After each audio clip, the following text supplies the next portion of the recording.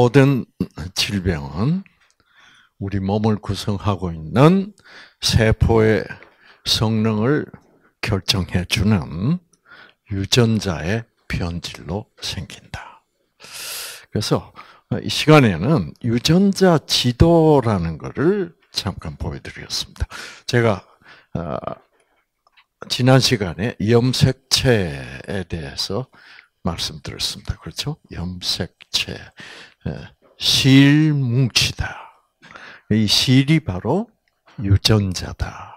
그렇습니다. 그래서 이 염색체가 우리 인간의 세포 속에는 몇 개씩 들어있다? 23개씩 들어있습니다. 그래서 여기에 쫙 실들이 뭉쳐 있는데 유전자들이죠. 이것들이 다 유전자들입니다. 그래서 여기는 무슨 유전자, 여기는 무슨 유전자. 그래서 유전자의 위치가 다 달라요. 유전자 지도라고 말한다면 지도라는 것은 위치를 보여주는 겁니다. 그래서 23개 실뭉치 중에 유전자 뭉치 중에 예를 들어서 당뇨병은 어디 23개 염색체 중에 몇 번째 염색체에 어디에 어디쯤에 위치하는 유전자가 변질되면 당뇨병인가? 예를 들어서 내가 폐암에 걸렸다. 그러면 23개 유전자 중에 아니 염색체 중에 몇 번째 염색체 그 염색체는 1번부터 23번까지 있죠. 그렇죠? 몇 번째 염색체 어디에 꼭대기에 위치하는 거냐, 중간쯤 위치하는 거냐, 아, 밑바닥에 위치하는 거냐. 그래서 아, 과학자들이 이 어, 유전자 지도를 만들어냈습니다. 놀라운 작업이죠. 어, 그때 2000, 1990 98년, 99년부터 이 작업을 어, 방송에서 많이 방송했습니다. 어, 그 인간 게놈 프로젝트라는 거 여러분 기억하시지 모르겠습니다만은 자 그래서 여기 이제 보시면 인간 유전자 지도 게놈 이란 거는 유전자를 학술적으로 부를 때 게놈 그럽니다. 인간 게놈 지도 사실상 완성. 이 완성한 때가 언제냐? 하면 2003년 4월입니다.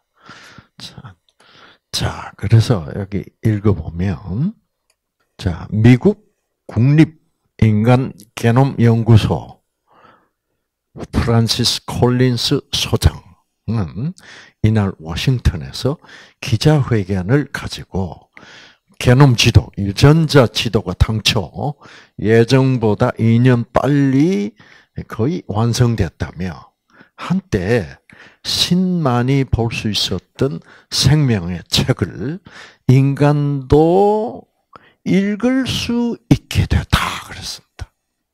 유전자는 읽을 수 있습니다. 읽을 수 있다면 유전자는 뭐예요? 글자죠, 글자. 네. 유전자가 글자입니다.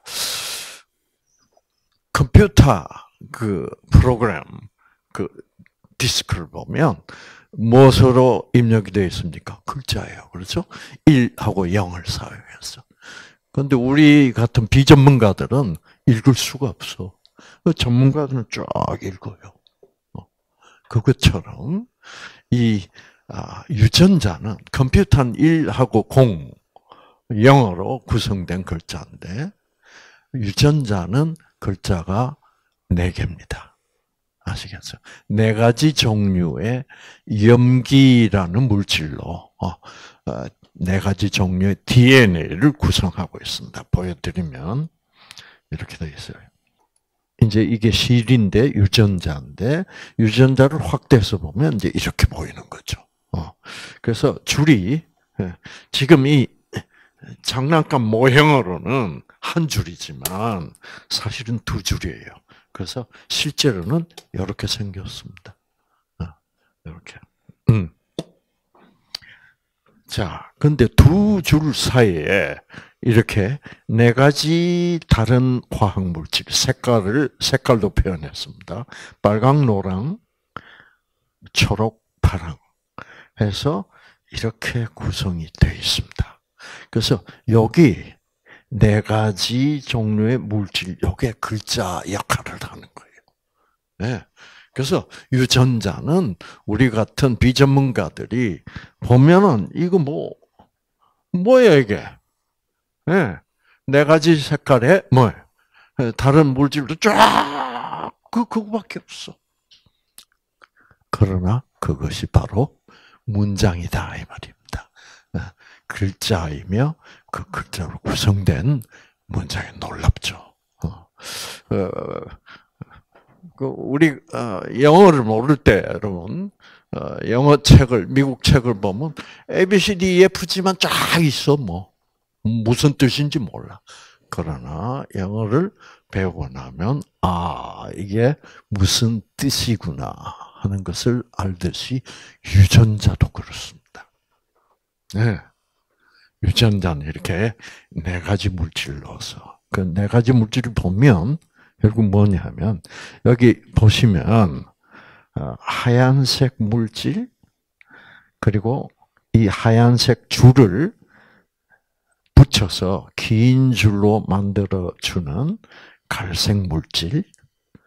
그 다음에 이제 두 줄 사이에 있는 이 네 가지 종류의 물질.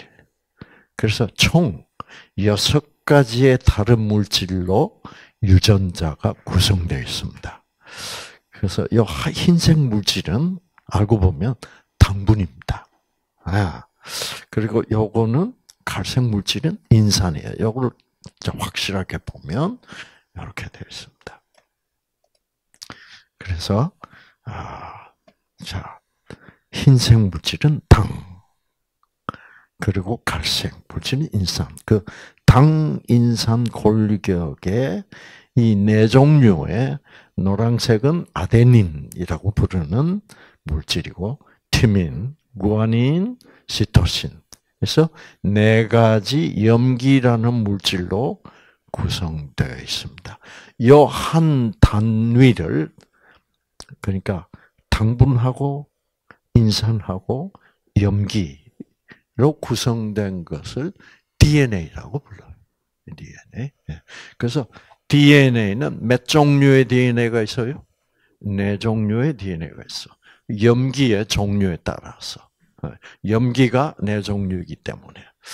그래서, 아, 이제, 예, 유전자는 이 글자라는 것은 무엇에 따라서 뜻이 달라집니까? 배열 순서에 따라서. 그렇죠. 똑같은 글자라도 여러분 1010하고 1100 1이 두 개고 0이 두 개일지라도 어떻게 배열하느냐에 따라서 뜻이 완전히 달라지죠. 그렇죠? 어, 어, 그것처럼 이 어, 유전자 글자도 똑같아요. 이거를 읽어냈습니다. 그래서 읽을 수 있게 됐다 그랬잖아요. 해독할 수 있게. 유전자는 글자예요. 여러분, 이 사실은 정말 놀라운 사실입니다. 아, 사람은 뭘로 구성이 되어 있냐? 세포로 구성이 되어 있다. 근데 세포 안에 들여다보면 뭐가 기록되어 있어요? 예, 글자가 기록되어 있다. 그래서, 어, 이, 이렇게 배열이 쫙 되는 거. 우리 눈으로 보면 이게 뭐예요? 뭐, 뭐, GGTTA, 뭐, 이거밖에 안 보이는데, 어, 전문가들은 이거를 쫙 읽어보고, 아, 이거는 무슨 일을 하는 프로그램이다. 네. 다 해독할 수 있게 됐다. 그죠? 그래서 인간은 여러분 참 놀랍습니다. 우리의 몸 안에, 몸을 구성한 세포에 그 세포가 어떤 역할을 하도록 프로그램이 딱돼 있다 이 말이죠. 참 그런데 여러분,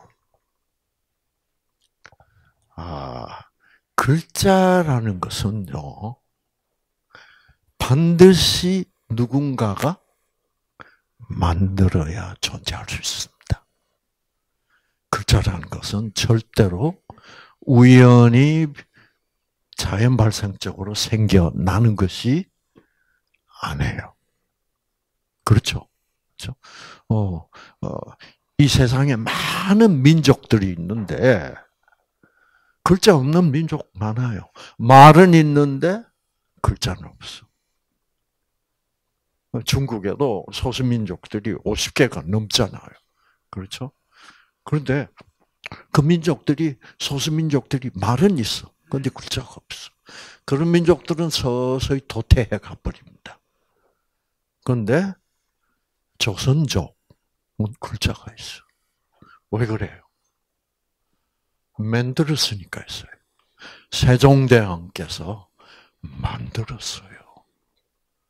모든 글자는 누군가가 만들어서 네, 있는 거예요.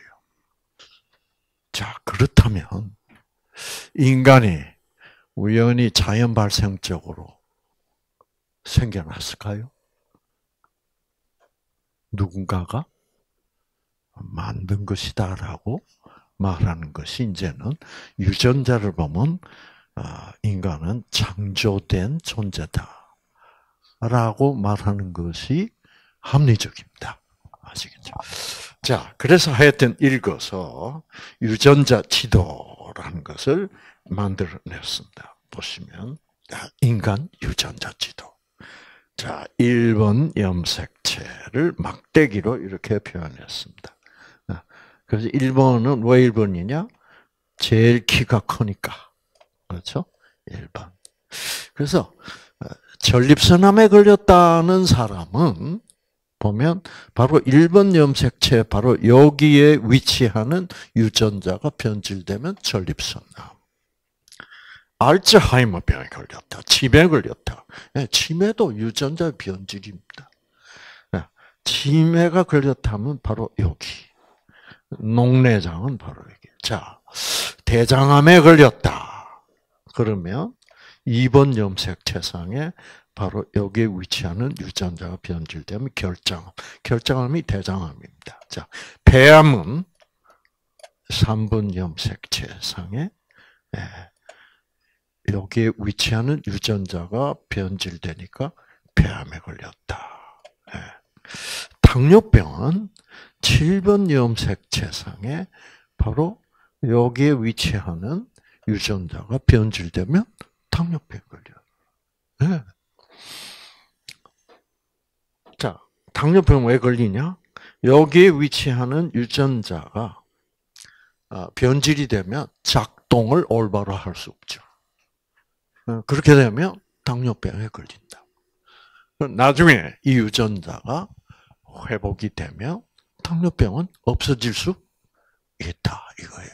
어. 자, 그래서 여러분이 알고 계시는 모든 질병은 사실상 이 유전자의 변질로 생긴 겁니다. 비만, 예.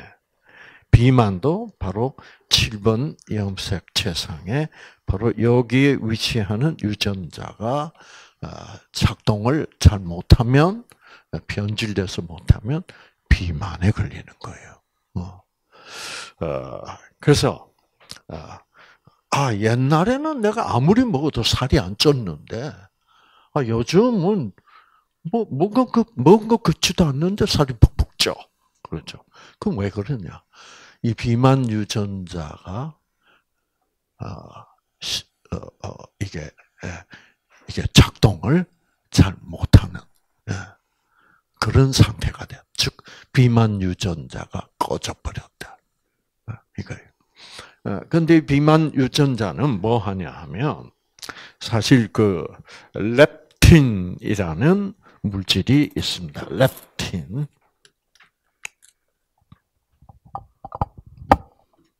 렙틴. 렙틴이라는 물질이 있는데 이 물질을 생산하는 유전자가 있어요.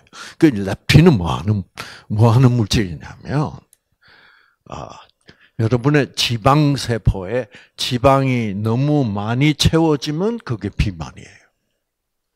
예.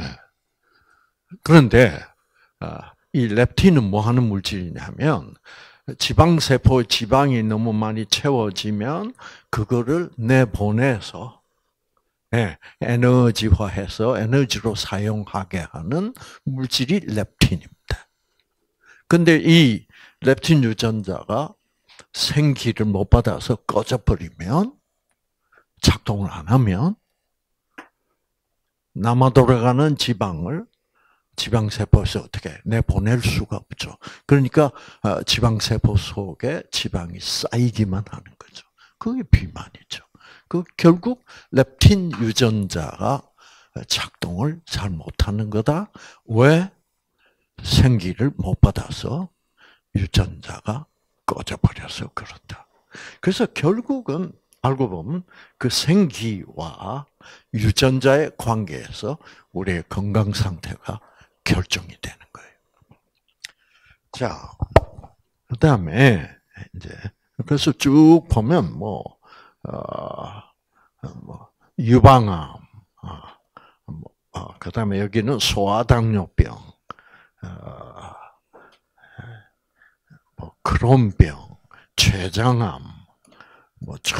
그래서 여기 22번 염색체가 제일 꼬마고 여기 보면 만성 골수성 백혈병, 여기 21번 자가 면역 아, 질병, 아, 그 다음에 이제 뭐 이런 모든 동맥경화는 결국 19번 염색체상에 여기에 위치하는 어, 유전자가 작동을 잘합니다. 그래서 모든 질병은 다 이렇게 유전자의 변질이다는 것을 이제 보여주는 겁니다.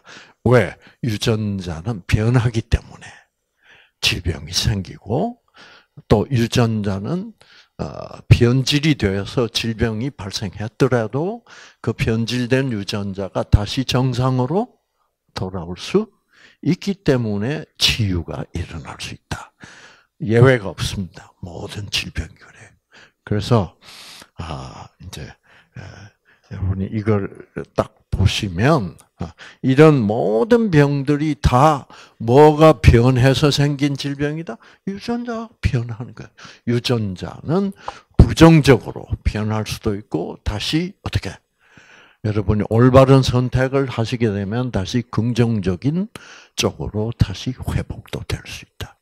그래서 사실상 불치병이란 것은 없다. 어, 그렇게 말할 수 있습니다. 음. 어, 그래서 어, 어떤 사람이 그 가족성 그렇죠? 그 부모로부터 나쁜 유전자를 타고났다. 그렇게 되면 당신은 이 병에 걸릴 수밖에 없는 운명을 타고났다. 그렇게 되, 됩니다. 그런데 여기서 우리 직원으로 일하시는 분이 한 분 계시는데 이분이 그 어, 형이 이제 대장암에 걸려서 어, 이분은 이제 유튜브를 통해서 강의를 듣고 해서 아 우리 형님을 여기 모시고 오면 되겠다. 아, 그래가지고 형님이 아, 그 어, 대장암이 나버렸어요. 아, 낳는 과정에서 이제 이분이 함께 강의를 들으면서 어느 날 저한테 제가 상담할 게 있는데 박사님, 음, 뭐냐 그랬더 자기는 집안에 다낭신이라는 다낭신이라는 아주 나쁜 병입니다. 신장이 아주 이렇게 물혹같이 돼서 볼록볼록볼록해서 포도송이처럼 자꾸 변질되는 거예요. 그러면서 실제로 신장 역할을 하는 조직은 자꾸 감소가 돼서 결국은 어 30대 40대쯤 가면 신장을 못 쓰게 되는 어 그래서 어 그런 아주 나쁜 병이에요. 그 자기가 지금 그 병으로 그 유전자를 부모로부터 타고 나서 지금 콩팥이 망가지고 있다는 거죠. 어. 그러면 내가 이 이런 나쁜 유전자를 우리 부모님으로부터 타고 났는데 저도 나아질 수 있습니까? 유전자는 변하잖아. 그렇죠? 어, 내가 어떤 생활 습관을 선택하느냐. 내가 어떤 생각을 선택하고 사느냐. 좋아질 수 있다. 그래서 이분이 아마 우리 센터 안에서 제일 아직도 철저히 뉴스타트를 하고 계세요. 어, 이분이 6년 만에 이제 오셔서 우리 직원이 됐는데 이분 콩팥이 어떠냐 그러니까 단한 극대요. 네. 콩팥 신장 기능 검사, 피 검사하고 다 정상으로 나왔대. 네. 그때만 해도 아주 비정상이었어요. 그러니까 여러분 선천적으로만 결정되는 것이 아니라 유전자는 후천적으로 나의 선택에 따라서 아, 회복될 수 있다는 거예요. 자, 여기 보시면 췌장암이 있다. 음. 여기에 있는 유전자가 변질되면 췌장암이 걸린다. 여기에 있는 유전자 변질되면 유방암이 걸린다. 어. 어. 그 유전자의 변질은 언제든지 회복될 수 있기 때문에 이거 이런 병이 유방암도 회복될 수 있다는 겁니다. 자, 근데 여러분 우리 몸 안에 이 유전자가 변질이 돼서 암이 딱 생기면 생기면 여러분이 제가 지난 시간에 보여드린 그 사진대로 T세포들이 몰려갑니다. 그렇죠? 몰려가서 그 T세포 안에 있는 이 암 세포를 죽이는 물질을 생산해내는 이 유전자가 탁 켜져요. 어, 생기를 받아서. 어. 켜지면 이제 암 세포를 죽이게 됩니다. 근데 이제 궁금한 것은 제가 말씀드리기를 아, 모든 사람의 몸 안에서는 매일매일 암세포가 생긴다. 그 이유는 여러 가지입니다. 왜? 우리 모든 사람들은 살아가면서 기가 막힐 일이 많이 생겨야 안 생깁니까? 스트레스 받을 일이 많이 생깁니다만은 우리가 스트레스를 받지 않고도 어, 우리 몸은 아, 이 이제 이 세포를 보면 여기에 이제 세포 핵이 있고 이게 세포막입니다. 세포막. 그 다음에 이게 미토콘드리아라는 거예요. 아마 여러분 기억하실 거예요. 그렇죠? 아, 이 유전, 염색체, 유전자들은 다 이 안에 있습니다. 세포핵 안에 있고. 그 다음에 요거는, 요 미토콘드리아는 여기서 에너지를 생산해내요. 어. 자, 미토콘드리아에서 어떻게 에너지를 생산해내냐 하면, 어, 오늘 아침 시간에 여러분 어, 광합성에 대해서 배웠습니다. 그렇죠? 음. 어, 그래서 태양에서 오는 그 전기 에너지를 배터리로 만들려면 뭐가 필요하다? 네, 물과 탄산가스가 필요하다. 그래서 물과 수분과 탄소를 만들어 탄수화물로 만들어 그, 그 안에 이제 태양 전기 에너지를 저장하는 거죠. 음. 자 그러면 어, 그래서 이제 이 에너지를 생산하려면 결국 어, 탄수화물, 탄수화물 중에서 가장 단순한 구조를 가진 탄수화물을 당분이라고 그럽니다. 엄밀하게 얘기하면 포도당인데 예, 당분이에요. 어. 그래서 당분이 이제 피 속에 녹아서 어, 돌아다니는 거죠. 그 당분들이 배터리예요. 그럼 우리가 이제 어, 운동을 한다. 그러면 이 일단 당분이 세포 속으로 들어와야 됩니다. 세포 속으로 들어와서 어디로 가느냐 하면 미토콘드리아로 가야 돼요. 네. 그 미토콘드리아로 당분이 들어가면 이 미토콘드리아 안에서 당분이 연소가 되기 시작해요. 예. 그래서 연소가 되면 어, 이제 당분이 연소가 되면 뭐가 자연히 나올 거예요. 에너지가 나오고 그 에너지를 담고 있던 탄소와 수분은 도도 분리돼서 어 그래서 어 탄산가스화돼서 나가고 물은 또 땀이나 소변으로 빠져나가고 그래서 미토콘드리아 안에서 태양으로부터 오는 전기 에너지가 마침내 당분이라는 배터리로부터 노출이 되고 어, 그 에너지 전기 에너지를 싸고 있던 포장 노릇을 한 물과 어, 탄소는 다 빠져 나가 버리는 겁니다. 그래서 세포 안에서 이 미토콘드리아에서 드디어 당분 속에 있는 전기 에너지가 나와서 그래서 어, 우리 온 몸을 구성하는 세포에 매일매일 전기 에너지가 어, 이제 공급이 되는 겁니다. 그래서 우리가 먹어야 된다. 그렇죠? 이 세포에는 글루코즈 이게 당분입니다. 당분이 미토콘드리아로 들어가고 그 다음에 우리가 호흡을 해서 산소를 어, 받아들이면 그 산소가 미토콘드리아 들어가서 자 이제 산소가 들어가야만 어, 당분을 태울 수 있습니다.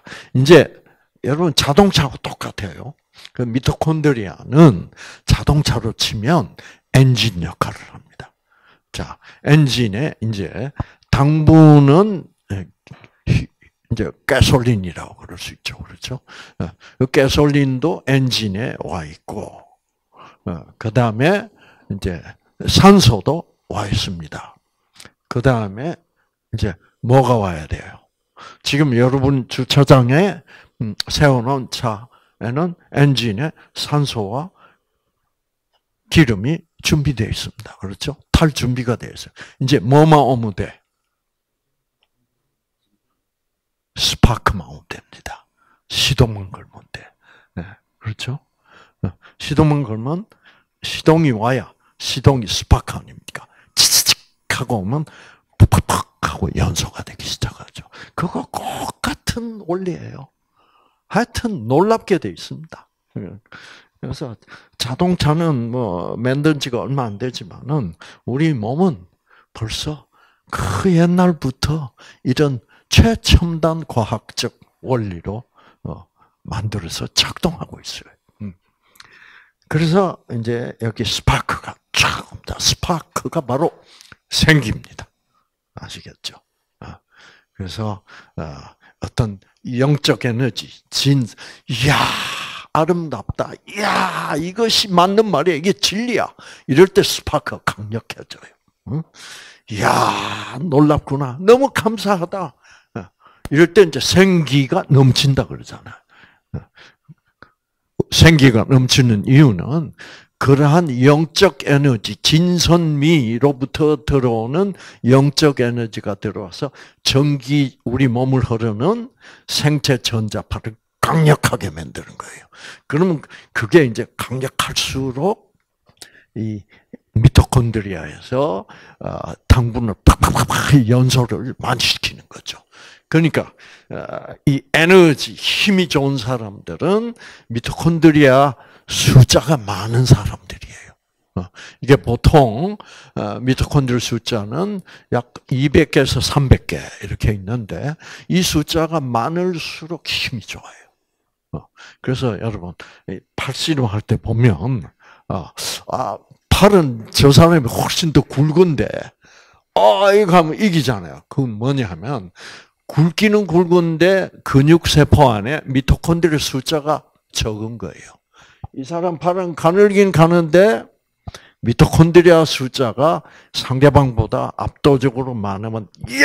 할 때 그 에너지가 훨씬 더 센 거죠. 음.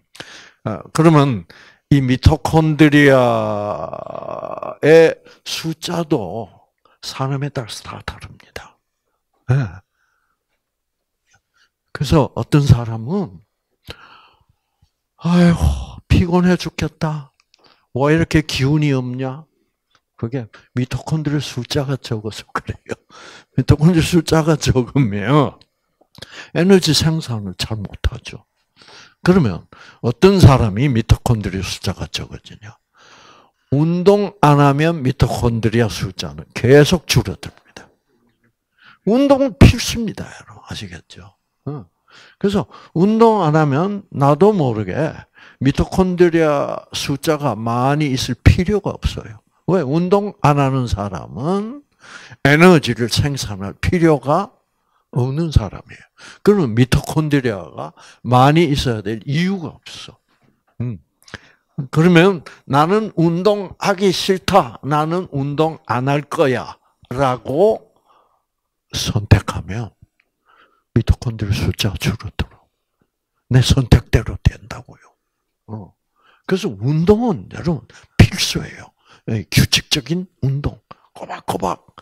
아무리 다른 게 중요할지라도 이 운동하는 시간을 반드시 할애해야 돼. 어. 아, 그러시면 여러분 어, 참 어, 여러 가지 면에서 이 운동은 놀라운 유익한 현상을 내 몸에서 일으킵니다. 자, 그래서 이제 스파크가 와서 태우면 뭐가 생산된다? 에너지가 생산된다. 어, 음. 그래서 에너지가 생산. 에너지가 생산되면서 부산물이 발생합니다. 아시겠죠? 자, 제가 지금 암세포는 왜 모든 사람의 몸에서 매일매일 생기냐를 어, 설명드리기 위하여 지금 어, 이렇게까지 왔습니다. 음. 이 활성산소라는 것이 생깁니다. 어, 그래서 이 활성산소는 아주 활성화된 산소라는 말입니다. 산소의 특징은 뭐예요? 산소의 특징은 아무한테나 가서 붙어 들어붙어요. 그냥 들어붙어서 어, 나를 신체를 망치게 만들어 아시겠어? 어. 그 그게 활성산소. 어. 그래서 활성산소는 모든 다른 물질이 근처에 있으면 금방 들어붙어요. 그래서 그 물질을 상대방 물질을 어떻게 시켜요? 변화시킵니다. 그 산소가 와서 들어붙어서 상대방 물질을 변화시키는 것을 고상틱하게 유식하게 얘기하면 무슨 작용? 산화작용. 그걸 산화라고. 그래서 쇠가 아주 강철이 산소 같은 어, 그런 찰그머리 같은 여자를 만나면 강철이 뭐가 될까? 녹이 돼버려요. 산화철이 된다고. 그러니까 산소는 모든 상대방 물질을 다 파괴시키는 작용을 해요. 그래서 그래서 산소는 아무리 산소가 좋을지라도 여러분이 산소를 너무 과하게 들어 마셔도 안 됩니다. 네. 그래서 병원에서 아차 실수해가지고 여러분 보통 우리가 들어 마시는 산소는 공기 중에 몇 프로 있어요? 20%. 어. 어. 그래서 이 산소량은 21%, 2%, 23%, 뭐, 이 정도면 좋지만은, 이 산소가 40%, 50% 되면 큰일 납니다. 아시겠죠? 100%가 되면요, 금방 그 100% 산소를 좀 마시고 나면 눈이 안 보이게 되고, 아, 금방 산소에 독소가 나타나. 아시겠죠? 네. 그만큼 산소는 좋은 거지만은, 아, 그런 면에서는 아주 나쁩니다. 그래서 이 활성산소가 미토콘드리아를 파괴합니다. 산화시켜서 파괴. 그럼 미토콘드리아 숫자가 적어지는 거죠. 어.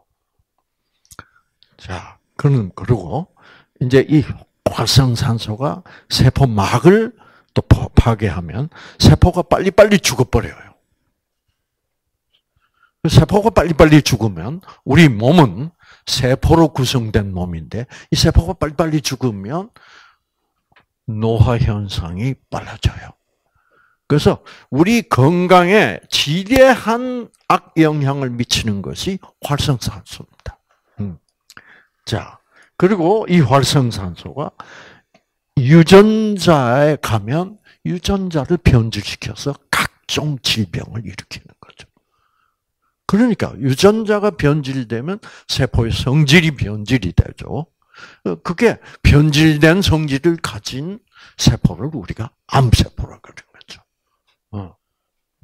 그러니까 모든 사람의 몸 안에서는 활성산소가 아, 이 당분을 태워서 에너지를 생산하는 과정에서 부산물로 생기니까 모든 사람의 몸 속에는 활성산소가 생기고 그 활성산소가 유전자를 변질시키니까 정상적인 건강한 세포가 암세포라는 비정상적인 세포로 변질될 수밖에 없죠.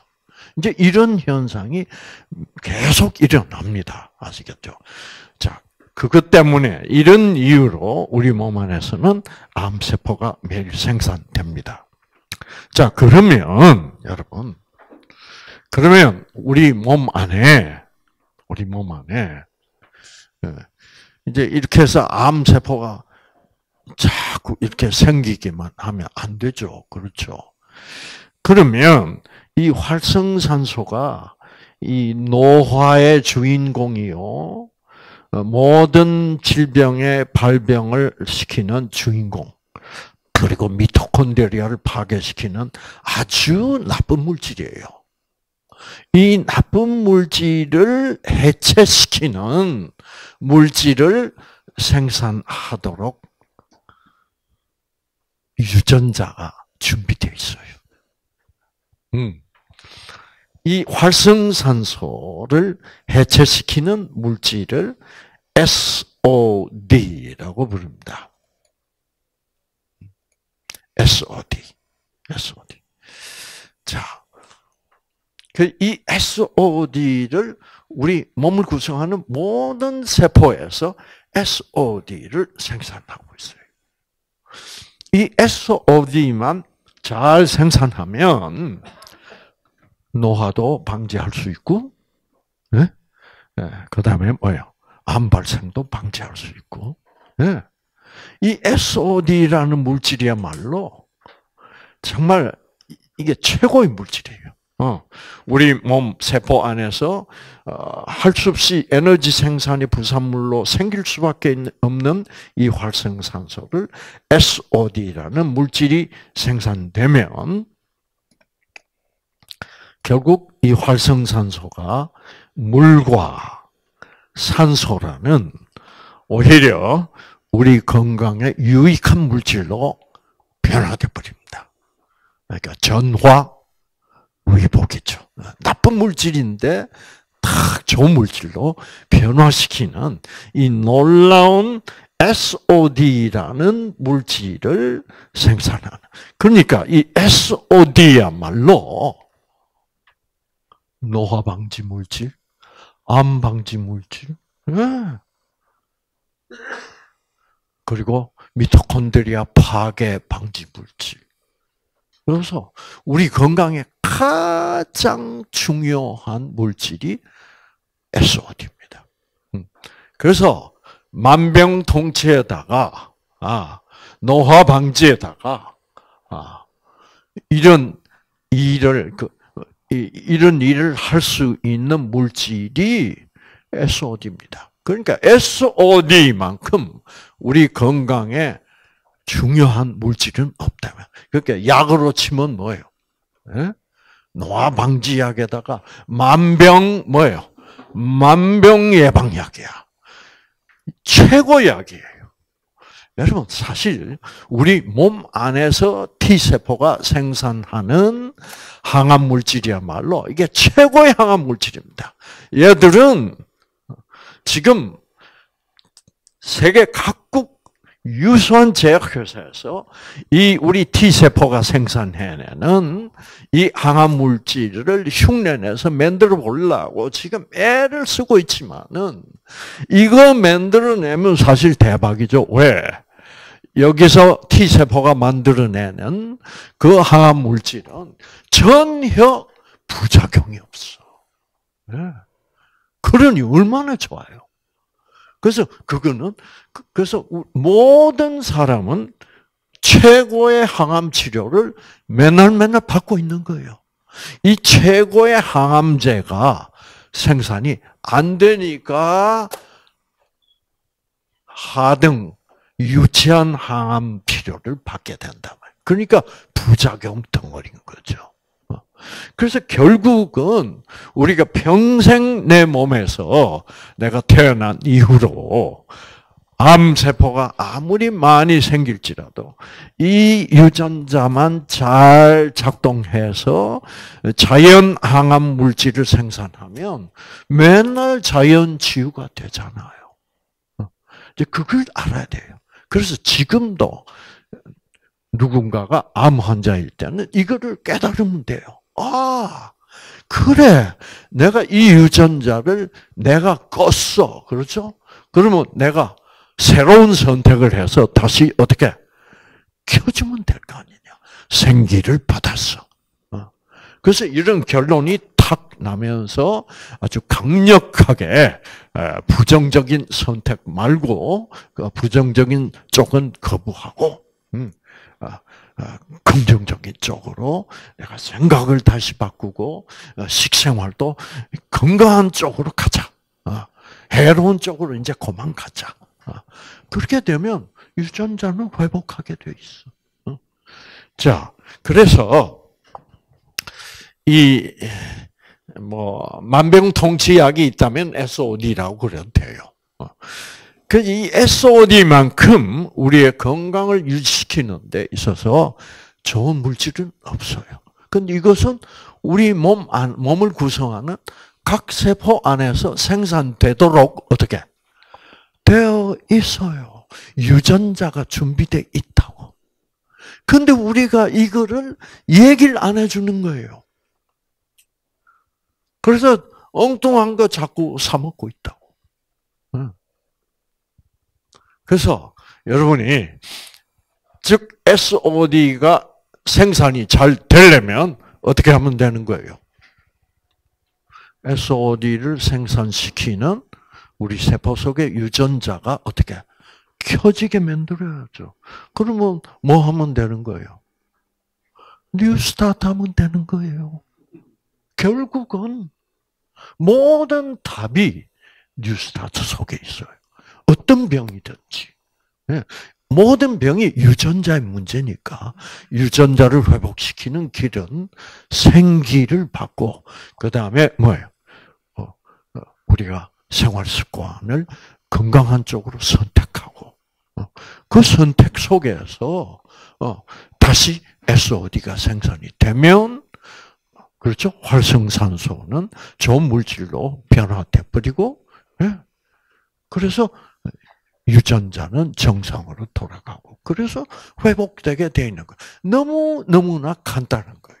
아, 우리 몸을 구성하는 세포들 속에 있는 유전자들이 생산해내는 물질이 어떻게 최고예요. 아직 인간이 만들 수 없는 그 최고의 물질을 만들고 내고 있기 때문에 유전자만 다시 작동하도록 도와준다면 그것은 우리 몸 안에서 다 최고의 의약품을 생산하고 있어. 아시겠죠? 자, 이제 그래서 어, 여러분들 이제 환자들이 뉴스타트를 하면 더 이상 뭐뭐 아, 뭐, 박사님 다른 거 뭐 또 좋은 거 없습니까? 좋은 거 있다면 저는 그 좋은 거 하죠. 뉴스타트 왜 해요? 어, 뉴스타트가 최고고 뉴스타트 외에는 이제 더 이상 없으니까 제가 뉴스타트를 하고 있죠. 그래서 자 그래서 암세포가 매일 생기는데 자 그러면 결국 암에 걸렸다 하는 이유가 뭐겠냐 하면 이 SOD가 생산이 안 되면 큰 문제죠. 그러면 모든 활성산소가 다 다른데 다른 세포에게로 가서 다 유전자 변질시키고 그래서 암세포가 그렇게 많이 생산되는 거예요. 그래서 그런데 이 SOD가 생산이 되지 않는 경우는 어떤 경우일까요? 자, SOD가 생산 안 되는 이유는 뭐예요? 유전자 꺼져서 그래요. 그럼 다시 생산시키려면 어떻게 하면 돼요? 유전자 켜면 돼. 간단해. 그럼 유전자 어떻게 켜? 뉴스타트 하면 된다. 이렇게 되면 다 끝나는 거예요. 여러분. 너무 간단해가지고 이게 좀 구라 같아. 네. 그냥 구라치는 것 같은 기분이죠. 그러나 진리는 어렵지 않습니다. 아주 단순한 체계를 가지고 있어요. 음. 자, 그래서 어, 그래서 뉴스타트를 하시면 유전자 켜질 수밖에 없고 그래서 생기를 받으면 이 꺼져 있던 이 SOD 유전자가 켜지는 거죠. 그러면 회복되기 시작하는 거죠. 자, 그런데 이 세상 사람들이 다 이제는 어, 그 우리끼리 다 속아가지고 뭘 먹으면 뭐 상황버섯이 어떻고 무슨 버섯이 어떻고 어 뭐 개똥쑥이 어떻고 뭐 TV 보면 막 온갖 잡것들이 난리를 치고 있어요. 제일 중요한 뭐 얘기는 하는 사람이 없어요? 생기 이야기는 없습니다. 음. 왜? 생기라는 그런 영적 에너지의 존재를 인정하지 않기 때문에 이게 큰 문제입니다. 음. 그러니까 다 뭐로 가버리는 가? 영적 에너지가 중요합니다. 에너지. 그런데 우리는 다 사람들이 어떻게 그 에너지의 존재를 부정하고 있으니까 에너지는 뭔지 모르겠고 그러니까 뭐예요? 어디로 갈 수밖에 없어요. 물질. 무슨 영양소, 무슨 물질. 물질 가지고는 유전자를 키울 수가 없죠. 그렇죠. 유전자를 키려면 에너지가 필요하죠. 생기라는 에너지가 필요하죠. 자, 그런데 여러분 그래서 이 SOD라는 물질을 우리 몸을 구성하는 모든 세포들은 생산할 수 있도록 다 그 창조주가 유전자를 만들어서 딱 입력을 시켜놨는데 이거를 이용할 줄 모르는 거예요. 자, 그러니까 이제 여러분 그래서 이 우리의 건강에 가장 해를 끼치는 것이 활성산소이기 때문에 예, 여러분. 그리고 그렇기 때문에 이 활성산소를 중화시키기 위하여 SOD를 생산할 수 있도록 해놔도 사람들은 계속 뭐요? 싸우고 화내고 미워하고 걱정하고 예. 뭐 때문에 돈 때문에 그렇죠. 뭐 이것저것 때문에. 예. 그래서 다 이 SOD 유전자를 다 끄고 사니까 이 활성산소로 말미암아 생기는 각종 유전자 손상, 그렇죠. 노화, 부지런히 노화도 하고 있는 거죠. 어. 자, 그래서 이 SOD를 생산할 수 있는 뉴스타트를 하자. 음. 그 다음에 예. 이 그러나 우리는 살다 보면 뭐 온 세상 사람들이 다 같이 뉴스타트를 하면 얼마나 좋겠습니까? 근데 아니잖아요. 그렇죠? 그럼 우리를 등쳐먹는 사람이 있고 사기치는 사람이 있고 예, 속이는 사람이 있고 그러면 우리는 와 분노하게 되고 미워하게 되고 그래서 이 분위기가 다 유전자를 꺼가면서 빨리 늙자 빨리 죽자로 가고 있는 거예요.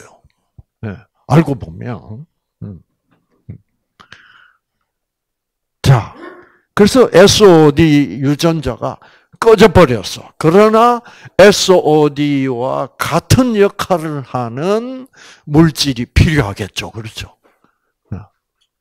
그 물질을 바로 산화 방지 물질이라고 그럽니다. SOD 자체도 산화 방지 물질이에요. 그래서 SOD는 아니지만 산화 방지 물질이 우리 모든 사람의 건강을 위하여 결정적으로 중요합니다. 음. 그래서 사실 그 산화 방지 물질이 SOD만큼 중요해요. 어. 그러면 여러분 사실 우리 건강에 뭐가 제일 중요한 물, 어떤 물질이 있다면 우리 건강에 가장 중요한 물질은 무엇이겠느냐 하면 SOD예요. 근데 SOD는 내가 지금 음? 어, 배신을 당했다, 사기를 당해가지고 내가 도저히 유전자 켜기 힘들다. 그러면 SOD 대용품이 있겠느냐? 있습니다. 그것을 다른 종류의 산화 방지 물질이에요. 그런데 이 산화 방지 물질은 수도 없이 종류가 많습니다. 아시겠죠? 어. 자, 종류가 많은데 산화 방지 물질은 모든 산화 방지 물질이 다 식물성 음식에 있습니다. 그러니까 여러분이 육식 위주의 식생활을 한다면 산화방지 물질 섭취가 아주 부족해요. 예. 그래서 육식 위주로만 하는 분들은 노화가 빨리 되고 어, 암에 빨리 걸리고 어, 그렇게 돼 있는 거예요. 그래서 여러분이 여기 오셔서 잡수시는 소위 건강식이라는 것은 알고 보면 산화 방지 물질을 듬뿍 잡시는 거예요. 식물성 음식이니까. 그렇죠? 그래서 건강식이 채식을 위주로 하는 음식이 식생활이라 야 된다는 말은 산화방지 물질 때문에 그렇습니다. 일단 이런 경로를 거쳐서 암세포가 생긴다 이 말입니다. 그러니까 모든 사람의 몸에서 암세포가 안 생길 수가 없는 거죠. 어.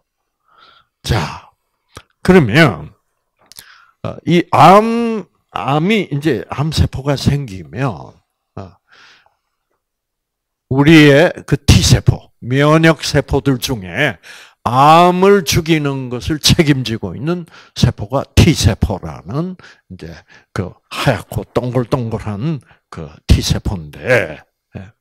이 T세포가 암세포만 생겼다 하면 암세포 쪽으로 이동해 가서 여러분이 슬라이드에서 보신 것처럼 암세포를 죽여요. 음. 자, 이렇게 이제 암세포를 죽이는데 그래서 어, 근데 이제 참 재밌는 현상은 우리 몸에 암세포가 생겼다.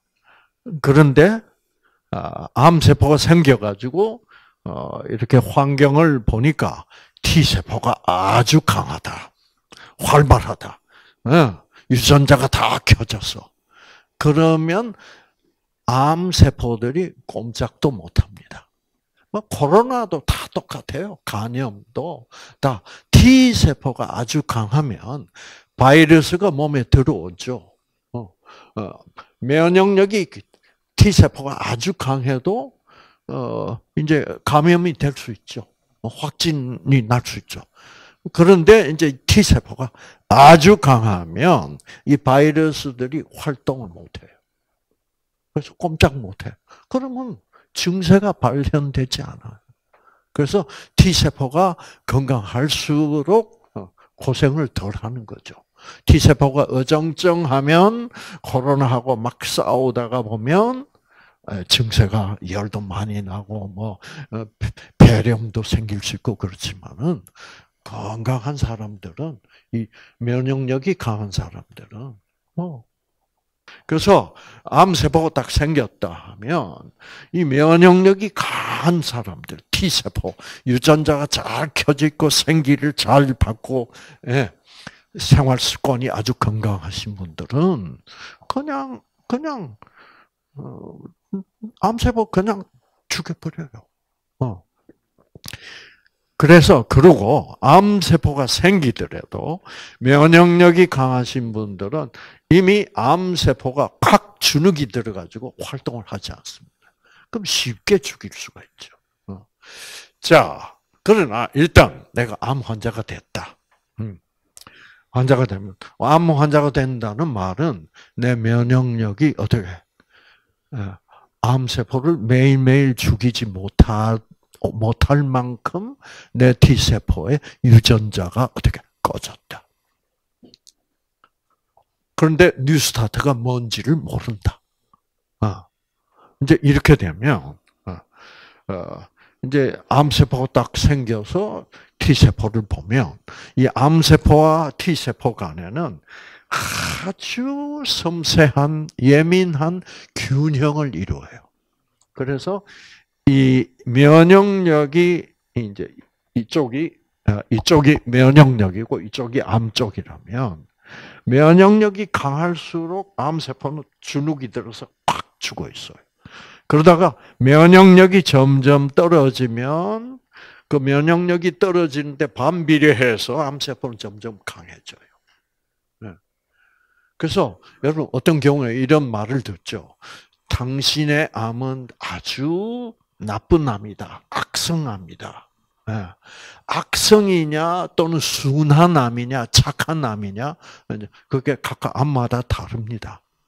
다른데 그 암이 착할 것이냐 아, 아주 악성일 암인가 그것은 모든 것이 다 환자 자신의 면역력에 따라서 달라집니다.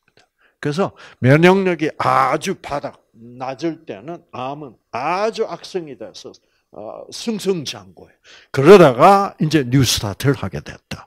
그래서 이 면역력이 점점 올라온다. 그러면 암은 눈치를 보고 자 행동을 조심하는 순한 암으로 변합니다. 그래서 드디어 이 면역력과 암 사이에 균형이 딱 생기면 그래서 이거를 어, 영어로는 어, cancer immunity equilibrium이라고 부릅니다. 그러니까 암 면역 균형 균등 현상. 그렇게 되면 암은 그때부터 활동을 완전히 정지합니다. 정지하고 암이 동면 상태로 들어가요. 그러니까 여러분이 어떻게 사느냐에 따라서 여러분의 선택에 따라서 우리 몸 안에서 여러분이 선택하신 대로 다 되게 돼 있다고. 음. 자, 그래서 암 동면 상태 들어갔다가 드디어 어, 면역력이 더 강해졌다. 그러면 암은 더 약해져요. 네. 그리고 면역력이 더 강해졌다. 그럼 암은 더 약해져요.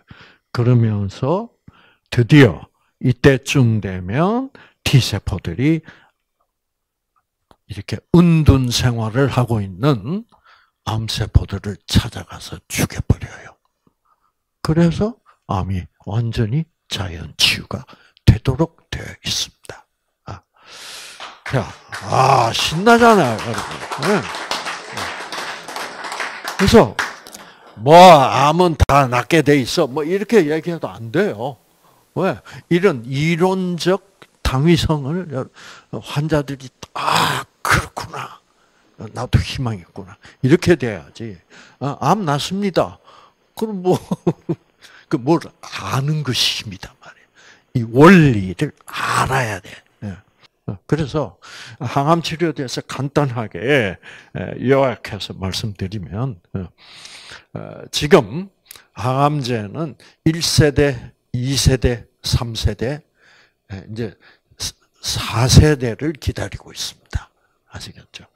1세대는 여러분 잘 아시는 항암 치료입니다. 어, 무조건 독한 걸 만들어 가지고 어떻게 암 세포를 죽여야 된다. 음.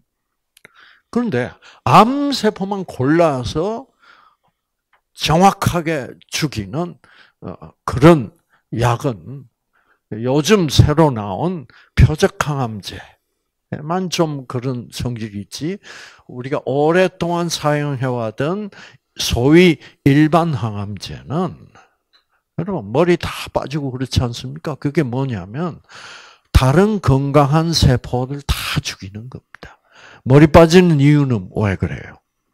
머리카락은 모근 세포라는 세포가 이 머리카락이라는 특수 단백질을 생산해서 머리털이 생기는 거예요. 근데 그 모근 세포를 죽여버리면 머리카락이 안 생기고 다 빠져버리는 거죠. 그래서 정상적인 중요한 세포들을 많이 죽이기 때문에 심각한 아, 부작용이 있고, 그 다음에 이 T세포, 이 T세포야말로 항암제라는 이 독, 동물에 가장 예민합니다. 그래서 암세포가 죽는 것보다 T세포 죽는 것이 훨씬 더 많이 죽어요.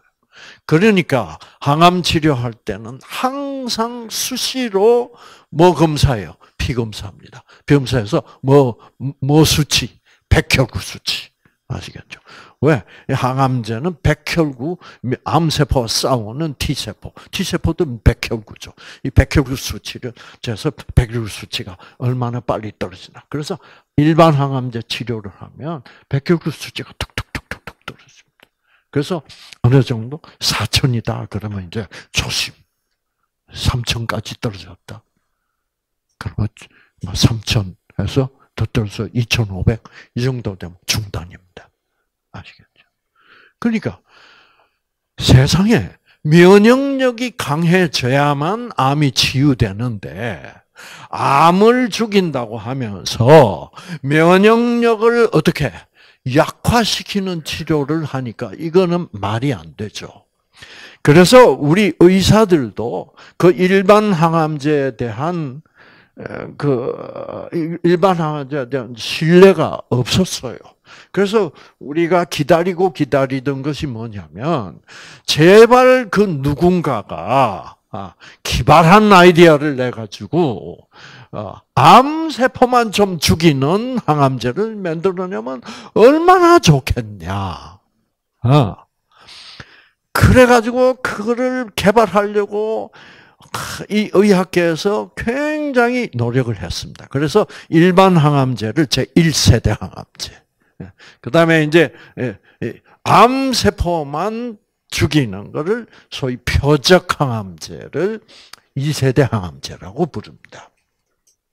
자, 표적 항암제의 원리는 뭐냐 하면 예, 암 세포들은 우리 몸에 몸을 구성한 모든 세포들은 자기의 신분이 확실합니다. 아시겠죠? 그래서 표적이란 것은 아, 우리들의 대한민국 국민으로서 우리들의 신분은 어디에 나타나서 주민등록증. 그렇죠? 그러니까 모든 세포들은 주민등록증을 다 가지고 있어요. 이것이 나의 신분이다.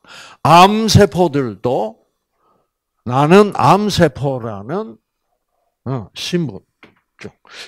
옛날에는 문패가 있었는데 이제 문패 없죠. 어, 그, 그 문패로 설명하는 게 더 쉽겠습니다. 그래서 암세포들도 나는 누구다라는 문패를 다 달고 있어요. 그래서 과학자들이 그걸 발견한 거예요. 그래. 그래서 문패를 식별할 수 있도록 항암제를 만들자. 그래서 어, 항암제를 딱 만들 때, 그래서 항암제 표적 항암제를 만들 때는 어, 암세포를 떼내 가지고 그게 문패가 뭐가 뭐를 가지고 문패를 만드냐면 암세포 속에 있는 문패를 제조해내는 유전자가 있습니다. 그래서 유전자 검사하는 거예요.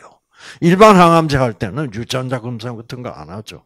그래서 문패를 식별을 하기 위하여. 그래서 그 그래서 그 문패가 달려 있는 항암제, 아, 아, 아, 암세포를 공격할 수 있도록 그 약을 만든다고요. 그러니까 암세포들이 다 같은 문패가만 있는 게 아니에요. 참 놀랍게도. 그러니까 암세포만 공격을 하긴 하는데, 네, 하는데, 어, 다른 문패가 있는 문패가 조금씩 다른 것에는 효과가 없는 거죠. 그 다음에 이 이런 문패, 이런 특정한 문패가 달려 있으면 내가 죽더라 이렇게 되면 암세포도 어떻게 할까요? 문패를 바꿔 달아야 되겠다. 그래서 그 문패 만드는 유전자의 변이가 와서 그 그러니까 코로나 바이러스도 뭐예요? 변이가 자꾸 오잖아. 유전자가 자꾸 바뀐다는 거예요. 그러니까 문패도 자꾸 달라지니까 좀 쓰다 보면 이 암세포들이 음 그래서 이 표적 항암제는 일단 사용을 시작할 때 맨 첫 달이 아주 효과 좋아요. 네, 예를 들어서 암 덩어리가 10cm다. 그러면 드디어 표적 항암제를 써봅시다. 하면 이게 그냥 10cm가 5cm 팍 줄어. 놀랍게. 음. 그래서 처음에 표적 항암제가 나왔을 때, 이야, 대박이구나. 이제 암을 정복하게 됐구나. 어, 그두 달째, 석 달째 하면 10cm가 1cm로 줄어버려요. 그래가지고 이제, 어, 또, 4개월째 턱 하면 안 줄어. 무슨 일이 일어난 거예요? 문패 바뀌었어. 네, 문패 바뀌었 네. 그래서 그거를 내성이라고 불러요. 내성. 네. 그래서 4개월, 5개월 이렇게 되면 표적 항암제. 그러면 약을 바꿔야 되는데 그 약 바꾸려면 또 유전자 검사해서 또 네. 이게 보통 일이 아니에요. 그래서 아하 표적 항암제를 만들어도 암세포도 다 그 표적 항암제를 피할 수 있는 뭐예요? 변이를 일으키기 때문에 결국 내성이 생기는구나. 그래서 거기에도 별로 이제 희망을 걸 수가 없게 됐습니다. 그 다음에 이제 예, 이암 환자가 이 세상에 이렇게 많아도 그리고 항암 치료제를 그렇게 표적 항암제를 포함해서 수많은 항암 치료제를 개발을 해도 노벨상을 하나도 받은 게 없어요. 왜? 예, 노벨상 어, 심사위원회 입장에서 보면 암세포만 죽이면 뭐해? 뭐해? 근본적인 문제는 뭐가 근본적인 문제인데? 면역력인데. 면역력이 약화 아, 됐으니까 암에 걸린 거지. 그 면역력은 올릴 생각을 안 하고 자꾸 뭐예요? 면역력은 약한 채 그대로 두고 암세포만 자꾸 죽이고 있으면 뭐해요? 그러니까 암은 재발할 수밖에 없죠. 그렇죠. 그래서 어, 노벨상 심사위원회에서는 노벨상을 타고 싶거든. 면역력을 강화시키는 암제가 나오면 되잖아. 그래서 이제 현대의학에서는 자 면역력을 강화시키는 항암제를 만들자 이렇게 됐어요. 드디어. 그래서 면역 항암제라는 게 나온 거예요. 근데 면역 항암제 나왔을 때 노벨상 받았어요. 드디어 노벨상 심사위원이었어요. 이야, 의학계에서 이제는 정신을 차렸구나. 아, 그렇지. 면역력을 강화시키는 약이면 되지. 그 제가 면역력을 강화시킨다는 게 뭘까? 어떻게 해서 면역력을 강화시킨다고 그럴까? 그래서 제가 좀 연구를 해봤더니 아 이것도 결국은 오래 갈 수 없구나라는 게 밝혀졌습니다. 여기 보면 이 노란색 세포가 T 세포예요. 그렇죠? 그리고 이 갈색 세포가 캔서 셀, 암 세포예요. 그래서 우리 혈관 속에서 T 세포하고 암 세포가 만나면 이렇게 암세포가 문패를 T세포에게 보여줍니다. 아시겠죠? 나는 이런 암세포예요. 이게 이제 암세포의 주민등록증이라고 보면 돼요.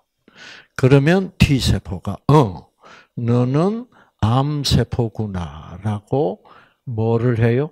Recognition, 인식한다. 아, 너는 암세포구나. 그 인식해요.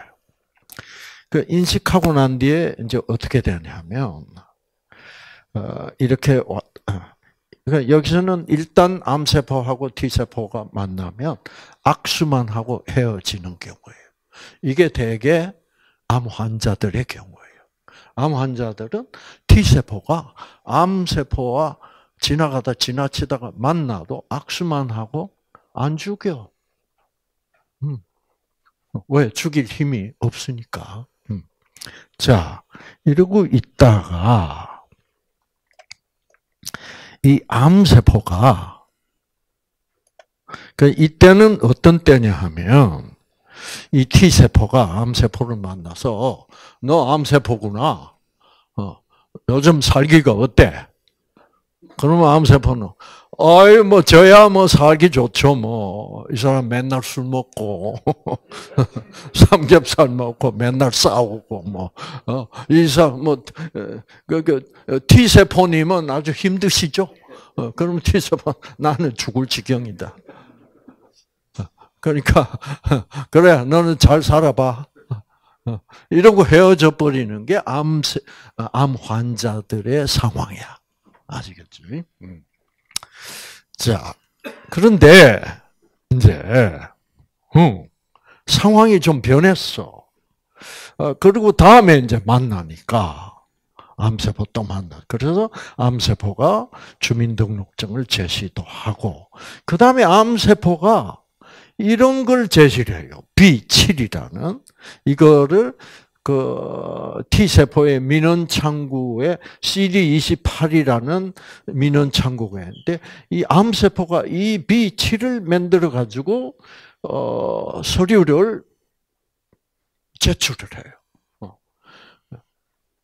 이, 이 서류를 제출하면 어, 이제 어떻게 되냐면 아 암세포가 아 아니 T세포가 이 암세포 죽이는 물질을 이렇게 생산해 가지고 암세포 속에 주입을 시키면 암세포가 죽어버리는 거예요.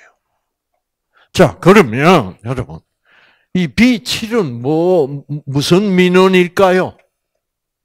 이거를 B7이 접수가 돼야만 돼. 접수가 돼야만 T세포는 이 암세포를 죽여요. 자, 이게 뭘까요? 암세포가 T세포한테 무슨 민원을 청구하는 거예요? 죽여달라. 나는 당신 몸에서 더 이상 살기가 힘들다. 왜? 당신네들이 더 강해지니까. 나는 더 이상 이제 이, 이 몸에서는 살기 힘들다. 죽여주세요. 그러면 T세포가 암세포를 죽여 주게 돼 있어요. 참 신사적이죠. 그렇죠. 네. 과학자들이 이걸 발견했다, 이 말이에요. 아, 요렇게 해서, 그러면, 이때는 암 진단 받고 병원에 왔다 갔다 할 때고, 이때는 어느 때겠어? 어떤 경우에 암세포가 죽여주세요 하고 민원을 접수시킬까? 그렇죠. 면역력이 강해지니까. 그러니까, 아, 어, 이제 환자들이 드디어 뉴스타트로 왔을 때. 그래서 여기서 노래를 부르질 않나, 예. 현미밥이 안 들어오냐. 와, 어, 산화 방지 물질이 통째로 막 맨날 들어오고, 그러니 상황이 뭐예요? 완전히 변해서 진선미를 깨닫고 생기를 받지 않나.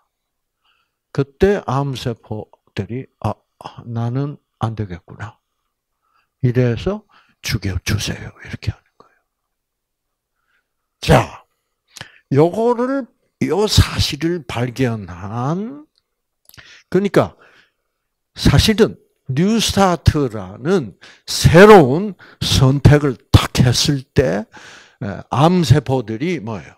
아하, 이러한 환경의 변화에서는 나는 더 이상 살아갈 수가 없구나를 감지했을 때 민원을 제출하는 거죠. 그런데 이제 그런 상황을 변화시키면 되는데 새로운 선택으로. 그런데 과학자들은 무슨 생각을 했게? 어, 암세포가 이런 걸 만들어서 민원을 청구하는구나. 그러니까 T세포가 죽이는구나.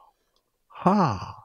그런데 지금 이 환자의 몸에서는 이런 현상이 암세포들이 B7 서류를 민원 청구를 해, 안 해? 안 해. 그럼 어떻게 하면 될까? 가라로 만들면 돼, 가짜. 그래서 이 B7을 끄집어내가지고 연구를 한 거야. 구조가 어떻게, 왜 가라로 만들어야 되니까. 유사 B7. 그러니까, 아, 가짜 서류죠. 음, 그거를 주사를 하는 거예요. 네. 주사를 하니까 T세포들이 깜짝 놀라가지고 뭐야? 어? 갑자기 죽여달라고 그러네. 어. 그래가지고 이게 어, 효과가 찔끔하고 있었어요. 근데 여러분 T세포도 바보가 아니에요. 결국 나중에는 어떻게 자꾸 들어오면 아 이게 가짜 서류야. 이런 T세포 반응을 안 하는 거예요. 결국은 우리 몸 안에서 장난은 안 통해요. 진정한 진리의 원칙을 따라서 회복이 되게 되는 거지. 이런 식으로.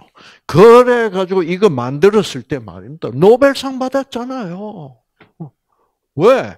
노벨상 심사하면서, 야, 이거 대단하구나. 근데 이건 정직해요, 안 해요? 정직한 거 아니에요. 어. 그래서, 어, 어, 암세포들도, 어, 뭐라 그랬습니까? 이거 가짜 아니야, 이거. 어? 우리는 죽고 싶은 생각 하나도 없어, 지금. 어? 어? 어? 그런데 막, 갑자기 막, 그러니까 암세포도 싸우기 시작하죠. 그러니까 약효가 없어지는 거죠. 그래서 지금 면역항암제도 별로 한때 반짝했다가 아, 별로 효과를 보지 못하고 있습니다. 그 다음에 이제 4세대 항암제. 예. 요즘이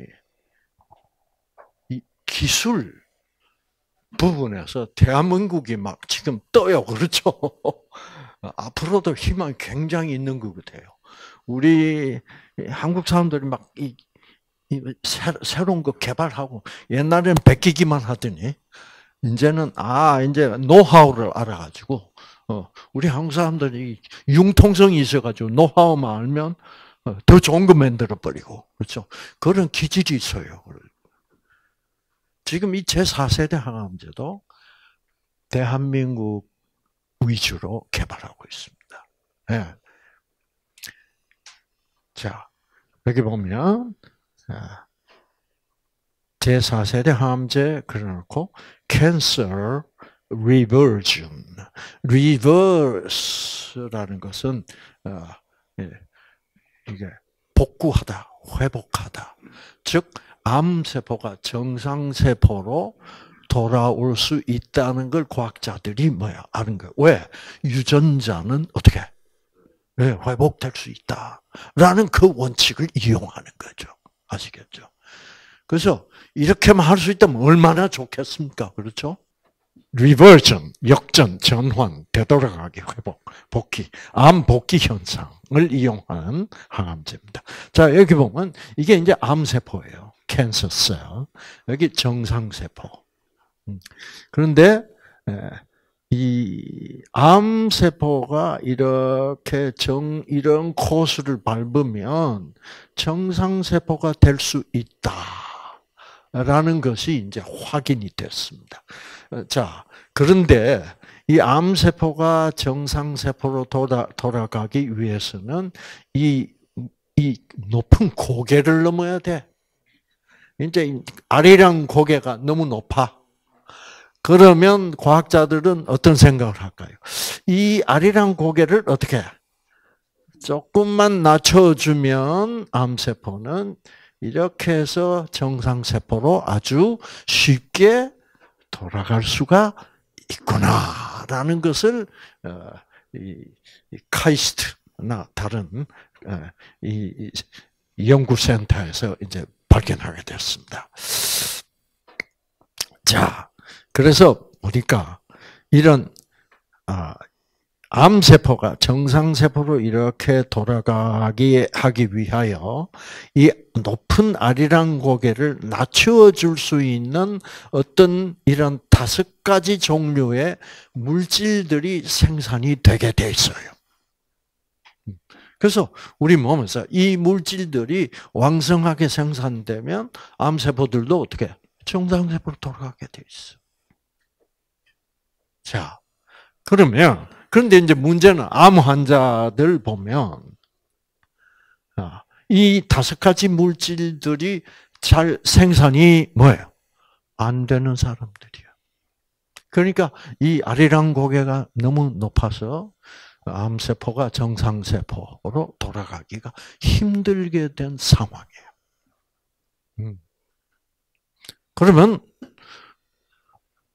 제약회사 쪽에서는 어떻게 생각할까요?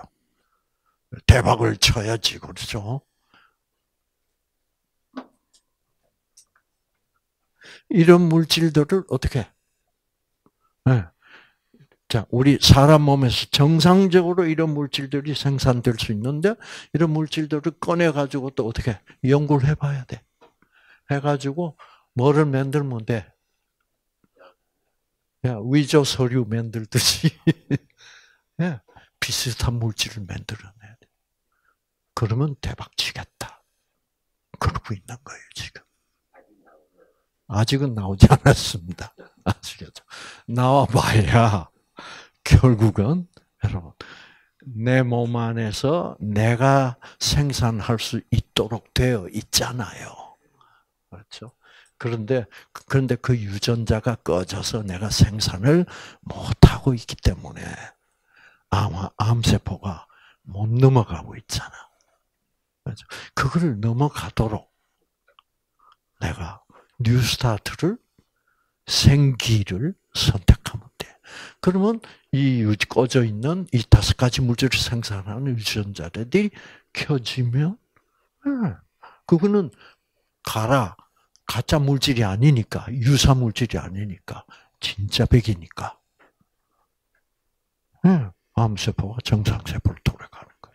그래서 뉴스타트만 하면 돼요. 돈안 들고 얼마나 좋습니까, 여러분? 그렇죠. 어. 그 이게 우리가 살짝 눈이 멀어 있습니다, 지금. 네. 바로, 바로 여기 있는데, 이걸 못 보고, 꿈꾸는 거예요. 아, 이 물질 만들어내야 된다. 이렇게 쳐도, 아, 이렇게 가면 되겠네. 유전자만 키면 되겠네. 근데 그 유전자 키면 되겠다는 생각을 못하는 이유가 뭘까요? 영적 에너지. 의 존재를 인정 안 하겠다는 거죠. 그러면 복잡해져요. 한없이 복잡해져요. 그리고 전부 돈 들어가. 근데 돈 들어가 봐야 또 뭐예요? 네, 이게 진짜가 아니니까 우리 몸 유전자들은 또 다시 대항을 해서 어, 반대하죠. 어. 그래서 뉴스타트가 아니고는 아무리 신약이 나온다고 해도 여러분이 벌써 그렇죠. 일반 항암제조차도 내성이 생기거든요. 음. 여러분 농약도 다 내성 생겨요, 안 생겨요? 다 생겨요. 모든 유전자를 가진 것은 살아 살아남아야 되니까 살기 위해서 다 변이를 해요. 그러니까 이 생명체, 유전자를 가진 생명체를 다루는 의학은 이 순수한 생명 법칙을 법칙대로 따라갈 수밖에 없다는 거죠. 어. 그래서 여러분 어, 어, 정말 이렇게 하면 지금 이거 개발 연구 개발비가 지금 엄청 들어가고 있을 거예요. 그러나 여러분 뉴스타트를 순진하게 뉴스타트를 하면 그러니까 이런 게 다 뭐예요? 내가 암 걸리도록 살면서 암 나와 보겠다는 거죠. 그렇죠? 우리가 이런 암이라는 병에 걸리면 아, 내가 이래서 암에 걸릴 수밖에 없었구나. 아, 내가 암 걸리도록 살은 거구나. 이래서 큰 전환점을 맞이해야 되는데 내가 암 걸리도록 살아간 그 삶은 내가 계속하면서 돈만 주면 뭐예요? 철커덕 네, 항암제. 그래가지고는 진짜로 치유될 수는 없다는 것을 우리가 깊이 깨달아야 돼요. 어. 그래서 여러분, 어, 바로, 바로 내 곁에 있는 그 쉬운 그 진리의 길. 그렇죠. 어. 생기. 생기는 우리가 눈을 다시 뜨고 보면 다 아름다운 거 투성이에요. 그래서 지금부터는 이런 꽃들도 좀 들여다보는 습관을 시작하세요. 그냥 보니까 별로 안 이쁜 것 같은데 이렇게 보면 이야 참 이쁘네. 이럴 때 유전자 켜지는 거거든. 그런 거를 좀 그런데 시간과 정력을 투자하시기 바랍니다. 진선미에 투자하시고 사랑을 주는 일에 투자하시면 여러분 이런 놀라운 과학자들이 지금 이루어보려고 하는 것이 영적 에너지로 자연스럽게 이런 현상이 일어나서 여러분 몸속에 매일매일 생기고 있는 암세포도 그냥 정상으로 어떻게 휙 돌아갈 수가 있는 것입니다. 여러분 정말 뉴스타트 네, 여러분 뉴스타트로 건강해지는 여러분 되시기를 바랍니다.